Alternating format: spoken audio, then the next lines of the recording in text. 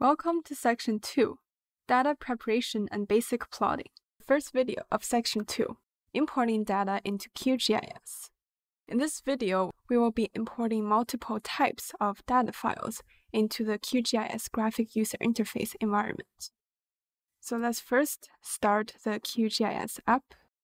In here, you will find several panels. And from the browser panel, we can go to our directory where the section 2 materials are, open the bikeways shape folder. First off, we will be importing the parks shape file to our environment. You can simply click and drag the shapefile, and you can see it here available from the layers panel.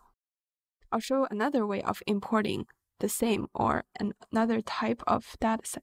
We can go to layer, add layer, add vector, since we're working on vector layers for this section. Choose File and locate the shaped file that you want to import.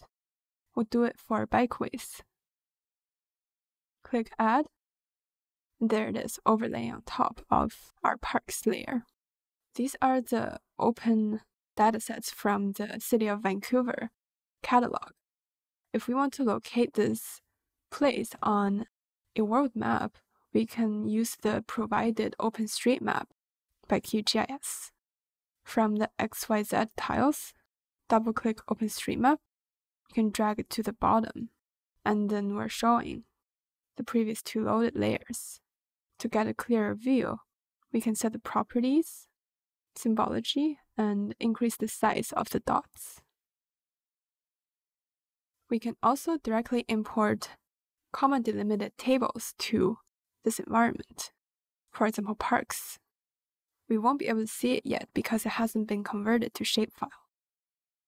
So on the map surface, you can drag things around, zoom in and out by scrolling. And see that we lost track of our layer. We can right click the layer and choose zoom to layer.